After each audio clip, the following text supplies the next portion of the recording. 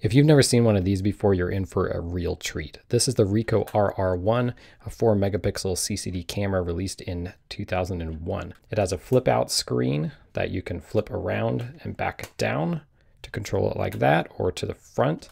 So you can take some selfies. Cheese. You'll notice there is a front shutter button and there's also a shutter button on the top. And then over here are the main controls of the camera, which kind of look like you're playing a video game. If you don't want to use the screen at all and just want to be stealth mode, it does have an optical viewfinder as well. It allows you to record audio clips so that you know, you can leave yourself voice memos, I guess.